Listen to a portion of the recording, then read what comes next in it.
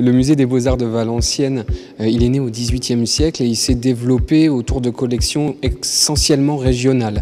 Euh, d'abord les œuvres euh, des artistes valenciennois d'alors, dont on conservait notamment les, les chefs-d'œuvre.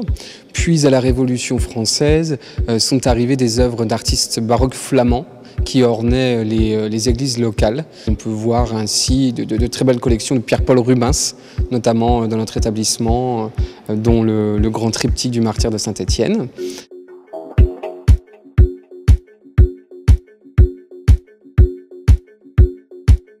La ville de Valenciennes euh, a été euh, très riche euh, en grands artistes et en, prix de Rome notamment.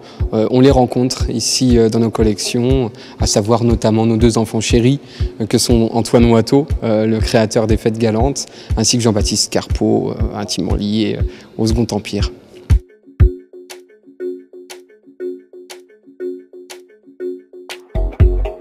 Alors, la demande de M. Deltombe, et je dois la qualifier quand même d'assez particulière.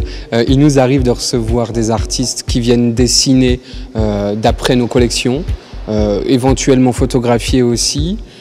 Nous pratiquons le, le, dessin de nu dans le cadre d'ateliers assez réguliers, mais c'est bien la première fois effectivement que nous avons une demande de photographie de nu au sein de nos collections. Toutefois, le lieu s'y prête et on a été ravis d'autoriser évidemment ce tournage.